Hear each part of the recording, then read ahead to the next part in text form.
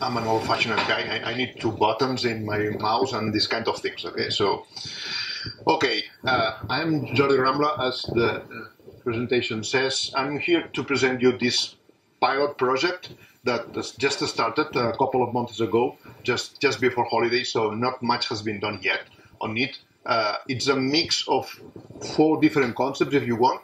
So I will try to uh, introduce all of them, and then I'm open for questions. Uh, so this is talking about the EGA itself as a service. Then I would like to talk a little bit at, at this EOSC uh, stuff and the EOSC pilot, a little bit about the FAIR principles, and then a little bit about the project that is trying to tie everything together in some way or another. Okay, not, exactly everything, but okay, it's this one. It's not. Oh yeah if the receptor is not there.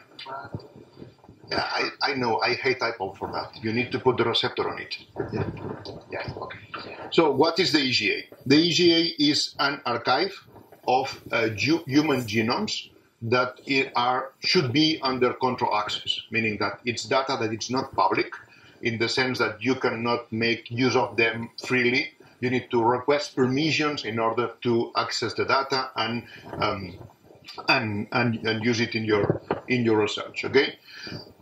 The access to the data is usually controlled by the data access committee that is uh, supervising uh, if the applicant is a, has a project that is uh, aligned with the consent agreement that the donors of the data has uh, signed. Okay, so if you go to a clinical study and this clinical study is about diabetes and uh, you sign a consent agreement saying this could be used for research on other diabetes projects, then uh, the data access committee would look if your if your project applies or not to these contents. Okay, so if the thing is okay, then you are granted access, and we give you access to the uh, files, and you can start using these files on your facility something like that. Yeah, so that's the model. The EGA is a project that is co-managed by the EBI, the European Bioinformatics Institute, and the CRG. Since uh, 2008, they started the project. In 2013, we go on board, and since then, uh, then we are we are co-managing this thing. Okay. Uh, so the EGA has a big number of data. We have these 1,300 uh, uh, studies, about uh, 3,400 data sets, around 800 data providers, and uh, more than 10,000 data requesters, and now we are approaching the 5 petabytes of uh, size in our storage. Okay? So it's quite big. It's not enormous. It's not astron- astronomically uh, big, but it's big enough to prov- pro- mm, provoke some heritages. Okay. Well, so we are having uh, data from relevant projects in the field of genomics and, and, and mainly like these ones that are there. RD Connect, that it's mainly about uh, rare diseases. The International Cancer Genome Consortium, that is uh, about uh, a study that is trying to tie together uh, 80 different cancer types from, I don't know, maybe it's uh, 40 different countries. So it's a big project in the order of the petabyte of information. The blueprint that it's looking at the uh, hematopoietic cells, meaning all the lineages in the in the blood. Uh, so all this stuff uh, is there. So mm, and others like the UK 10K or the uh, Wellcome Trust Sanger case control consortium uh, um, uh, study. So it's interesting thing, but some of them it's old. Let's say you need to look into it and usually refresh it in order to, to use it. Okay. Well, then there is this. This is the issue.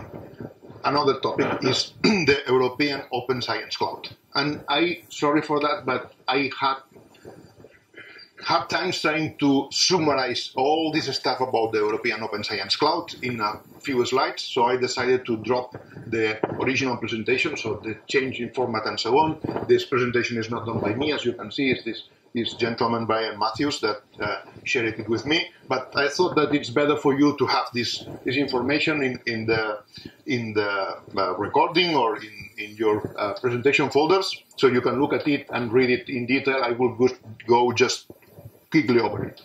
So the thing started kind of in April last year when uh, the European Commission decided that something called the European Open Science Cloud should be created in a kind of short term.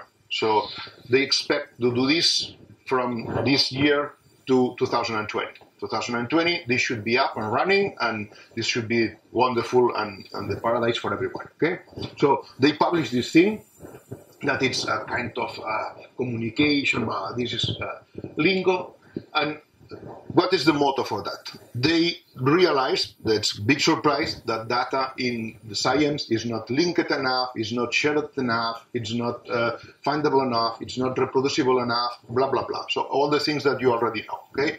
That the infrastructure are um, uh, disparated and well, you know. So you can read it here. So they think we need to do something in order to make transparent for the scientific community trying to use data from different places in different uh, facilities that are clouds or HPC or whatever, and that should be free and data should be open and these things. So they, they try to do something like that, okay, and provide better, uh, more innovation from researchers and blah. So this gentleman, Barend Mons, that it's uh, not a colleague, but I, I know him, uh, has been uh, appointed to do part of this thing. well, this is uh, one of the uh, things also that, that pops up, okay? This kind of documents are statistical statements. So what is the European Open Science Cloud? But Barend Mons tend to say that this, he hates, hates this name because it's not just European, it's worldwide it's not just for science, uh, it's for any kind of matters that make sense. It's not open in the sense that everything is free and blah blah blah. Could be control access, could be indeed commercial in some cases, and it's not a cloud in this in the computing term. It's a cloud in the sense that it's a bunch of services and providers and people doing stuff. Okay, but the core is that one. We will say that one researcher that is looking for marine stuff, for example, could log in somewhere and select some data sets they want to have, look for the data sets, uh, select the data sets, drop these data sets in a facility, cloud facility, let's say, and run some pipelines on that, and then get this information. And from a meeting that I come yesterday about these projects, they indeed want to have a collaborative environment for the team starting to work together just at the beginning of the process. So it's quite ambitious. It's not. It's not. It's ambitious. Yeah. So as I say, I, I go a little faster on that. Okay. So and and this is very relevant for us in for, for the community in general because it's not that this is something additional that it's there. They are trying to move everything that it's the research infrastructures and infrastructures some way or another to the European Open Science Cloud. So it's not something that you have uh, in parallel with, somewhat in parallel, but uh, not in parallel with everything else. It's something that is kind of overarching the uh, scientific services in Europe. Okay, and you see indeed industry and the public sector right there. So things should converge to this. Well, so they say, okay, uh, the idea is also leverage existing infrastructures, not creating new ones, but just harmonizing everything, well, everything, the most relevant things that exist already. So they need to find out if the actual solution or the joining things together it's feasible which are the holes that are in there which are the limitations which are the challenges and blah blah blah so they decided to uh, have a call that they call the EOSC pilot. Okay, the EOSC pilot is trying to put some stress in these concepts and see if it's useful for very different communities. And they selected, uh, well, they, they started to do uh, two rounds of uh, demonstrators. That they asked for scientific demonstrators that run on top of this potential European Open Science Cloud and uh, they selected some of them for the first call. Uh, one of them is in life science, and it's trying to move the pan-cancer analysis uh, pipeline to different places around the world, in Canada and other places. I mean, the second round we have that started in July this year. We have this project that is the one that I'm, I'm coordinating uh, together with Cedric and, and so. Okay. So in this project, we are trying to do all these things, this very long name that it's not very uh, descriptive, well, it's kind of descriptive for me, okay? So you see we have seismology, we have cryo-electron microscopy, we have astronomy and physics and so on, okay? I, have been there for two days. This has been presented, and the status of that has been presented. It's it's quite interesting because you have a guy talking about the fusion of the particles, another guy talking about the uh, radio astronomy. This guy is talking about how to look at molecules from different images from a cryo-electron microscopy. So it's it's quite of an interesting thing. Okay, uh, so we are there. so which is the project that we are trying to do? we are talking to tackle this thing. I guess that you have talked about that plenty of times, okay? So I will not say anything else about that. We just try to uh, tackle this thing with the help of them. And the idea is to try to uh, get, in the EGA we have just the data.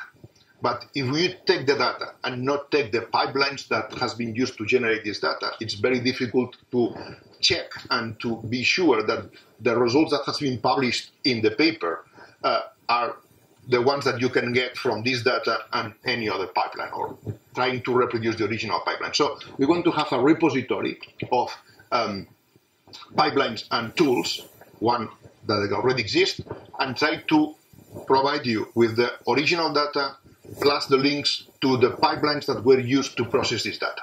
So in one kind of another, you can reproduce the original results, I expect, with very little differences. Okay, this is the expectation, it's not necessarily true. Okay, but then we want to do another thing, is why not we take this data that has been analyzed with the genome reference uh, 36 or something like that, and try to get the same results, apply the pipeline, a new pipeline if possible, and standard pipeline if that exists, and get the updated results for these data sets. Okay? So we will avoid that every user that downloads the data is uh, reprocessing the same thing, remapping against a new a new uh, genome reference. And at the same time, we're providing these new results for the personalized medicine world. Okay?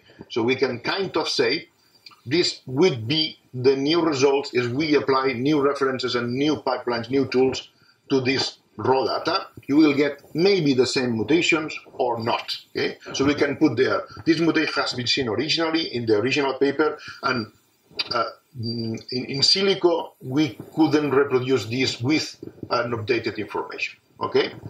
We, we, it's, we need to see exactly what this thing uh, is, how, how double is it, and how popular is it. Okay? But that's the reason this is a pilot and eventually, well, we're going to make everything fair. Okay, I will go into fair a little bit later. So the idea is that to get the reproducibility, to what I call the remastering of the results, and then uh, to make this data fair. What is fair? Do you know about fair? Could you raise your hand? Yeah, more or less. Okay, so wonderful. I don't need to go into this thing. So my challenge is if you really actually know what is fair. Okay, because I, I found this thing, okay, that each one is doing their own interpretation. And in this meeting, I've been in each talk, someone mentioned fair, and everyone gives a different, not definition, they say, uh, we are findable, but findable could mean different things, okay? So I, I put here just the original definition, this 15 criteria, that it's quite open, as you can see, okay? But when you say unfindable, here they are clearly saying this should be a persistent identifier that it's globally unique and it's eternal, that it's a very strong word. Okay? We say long term or uh, persistent, that it's much more easier to say something persistent than something eternal. Okay? Uh, so it's not just that you are in Google or anyone else in your website or whatever. You need to have this thing. Okay? Persistent identifier for uh, and global unique for your artifact. Yeah. So you can read the other definitions. Some of them are not so clear, and then this is is uh, published, okay, not, not, not big deal. And then these, these other guys that try to do metrics on uh, how fair you are are putting some levels, different levels on this is the minimum level, uh, no fair at all, and then you have a graduation of fairness until this that it's the perfect solution and so on. Okay, so people is trying to put metering metrics on, on the on the fairness of the stuff and as I said, the different things. So what we want to do is to uh, we, we, enlisted these guys. I call them the fair guys that are the ones starting to work on all this stuff from the Dutch Tech Center for Life Science in Holland.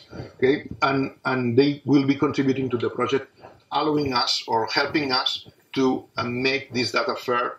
Uh, I will say I'll say five stars, not just one, two, or three stars, but the maximum fairness that it's possible for everything that is public in our in our datasets. Okay.